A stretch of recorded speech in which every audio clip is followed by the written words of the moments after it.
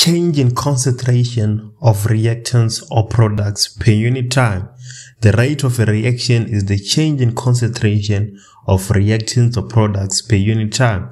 So what are we saying? We're saying that um, if we denote uh, the reaction rate as RR, we're saying that the rate of a reaction is equal to the change in the concentration of the products uh, per unit time or the change in the concentration of the reactants uh, per unit time. So what this actually tells you, if uh, for a certain reaction, um, you can calculate the reaction, the rate of the reaction using the change of products or the change of concentration of the reactants. So that is essentially saying that uh, this change in concentration of the product is equal to the change in the concentration of the reactants because uh, in grade 12 we always assume that uh, this reaction is taking place in a closed system. There is no product that is being uh, that is leaving the system some way uh, that will lead us to the change in the products being different to the change in the reactants. So when do we say a reaction has taken place? Uh, so to say, uh, what is the prerequisite for a reaction to occur? So let me just write reaction. So the prerequisite for a reaction to occur, we need uh, the kinetic energy of a certain molecule to be greater or equals to the activation energy of the reaction. Uh, to give you an everyday example, if you take eggs and you want to boil them and you put them in a pan, you put the water in. If the water is not at a certain temperature, you can put those eggs there for five days. They will still not get boiled because the kinetic energy of the water is not equal to or greater than some activation energy that we need for us to be able to boil water. So this idea of, um, average kinetic energy. We experience it in real life. There's some process that if you cannot turn the heat up to a certain degree, uh, they cannot occur. For instance, uh, let's say uh, you're doing bromination. Maybe you have propene uh, and you add in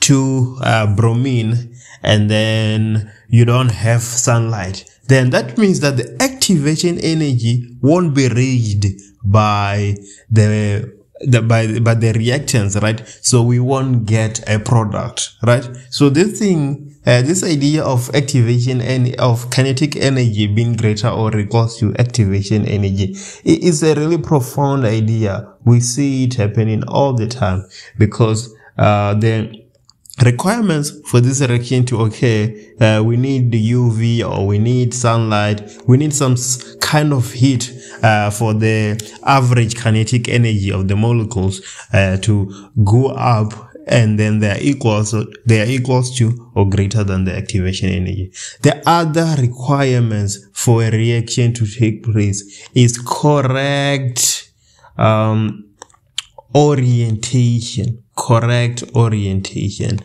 Uh, for a reaction to occur, um,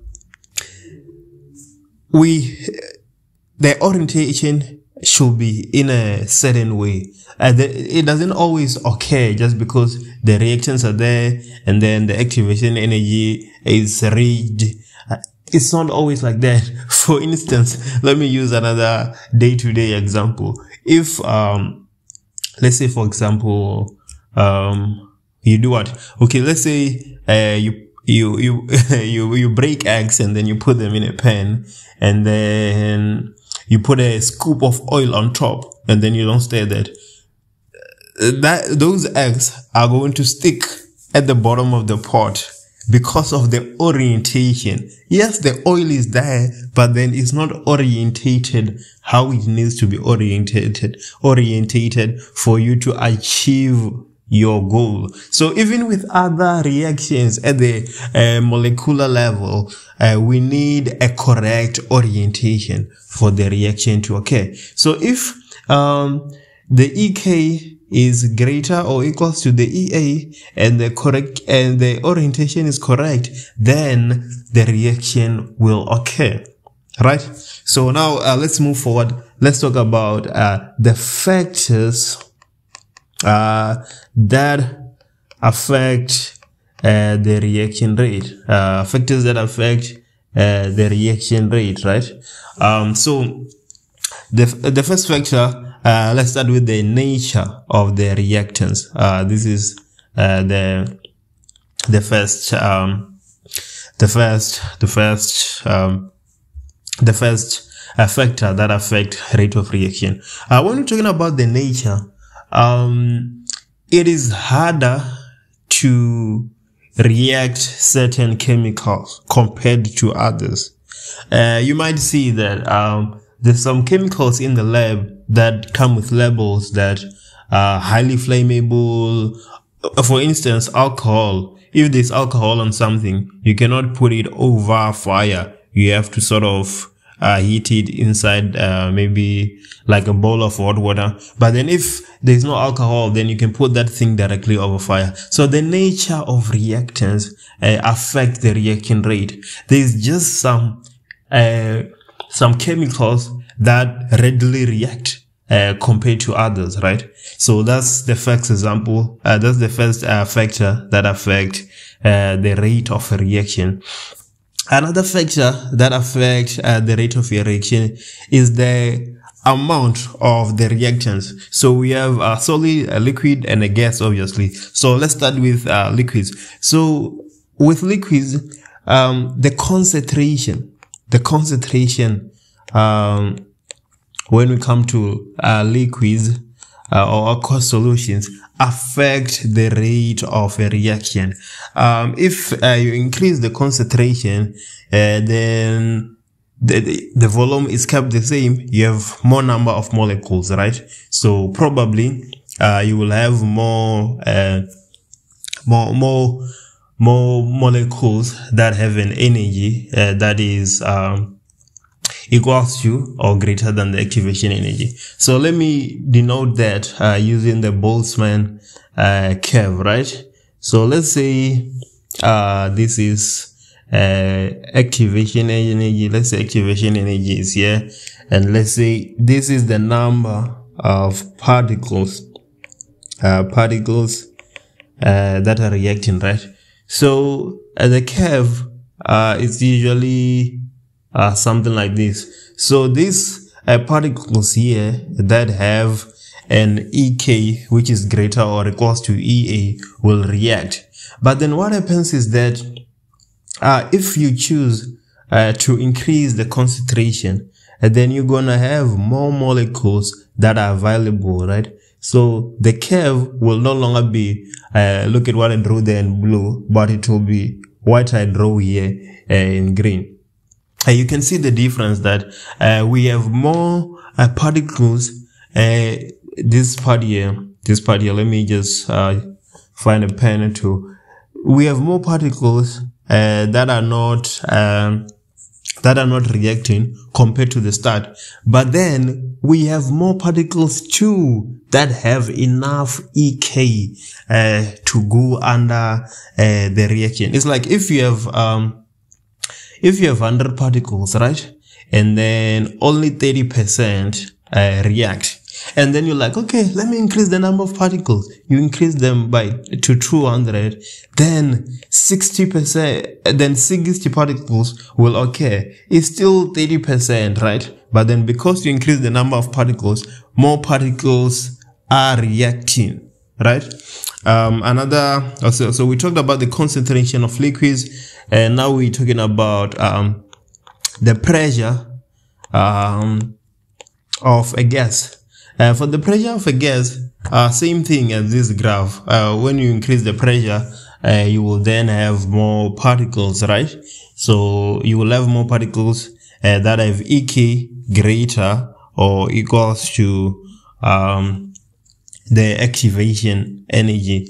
And then if um, you have for for solids uh, we have the surface area so let me say uh, surface area surface area and then uh, let's denote that uh, surface area um, refers to solids. So for a surface area, uh, the same thing happens. Um, the graph it will will take uh, this 10 like uh, it will be this one that I'm denoting in the blue line in the white line and then if you increase the surface area, uh, then you will have uh, the green line that's on top.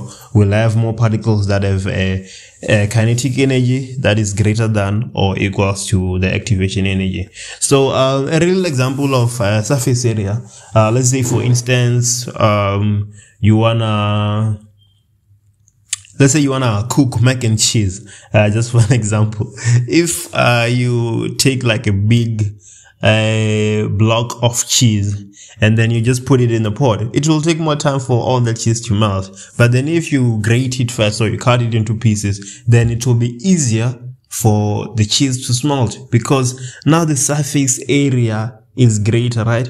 So if you have a block and then you cut it enough, then where you made the cut, th- that surface is an increase in surface area. So those particles that are now exposed will be able to react. Yeah. Um, another factor is the temperature, right? Uh, the temperature. So let's say the temperature, temperature. Uh, this is true for gas, um, liquids and solids, right? So, okay, let's go back to the graph again. Uh, let's say this is the distribution uh, this is activation energy. Uh, this is the number of uh, the particles. And then um, you can see, man, that hey, this reaction is taking forever to take place. And now you want it to happen quicker and you increase the temperature. What is going to happen? Uh, this graph is gonna uh, go a bit down and move slightly uh, to the right yeah. Let me explain why this is true. So you can see that uh, this uh, area where we have particles that have a kinetic energy which is which is greater or equals to the activation energy has increased. So what is going to happen here? If you increase the temperature then almost the, the temperature of all the particles is going to go up right so if it goes up, then this peak here is supposed to move slightly to the right, right? Because now the kinetic energy, because here on the x-axis we have the kinetic energy, right? Now the kinetic energy of all the particles has increased. So the graph tree uh, moves slightly um, to the right, right? And then the activated complex, uh, no, no, not the activated complex, but then this area here, uh, which is um, showing uh, the number of particles uh, that have an EK which is greater or equals to EA will increase because let's say uh, only two particles uh, initially had an EK uh, which is greater or equals to EA, and then you increase the, the, the temperature of all particles, then now maybe four particles, we have an EK which is greater or equals to uh, EA. Because don't forget the definition of temperature is the average kinetic energy, right? The average kinetic energy. So that's how, um, if you, if you increase the temperature, uh, you affect the rate of a reaction. Um, another Another factor that affects the rate of the reaction is if you add a catalyst. What's the definition of catalyst? Uh, it is said that it is an alternative path for the reaction to take place, right? So again, uh, let's go back to the graph and, you know, just to cement the idea in our heads. So there we have it, uh, the number of the particles, um, and then activated energy, and then there is the uh, Boltzmann curve, and then now uh, you add a catalyst. When you add a catalyst, what happens? The catalyst is going to uh, put an alternative path.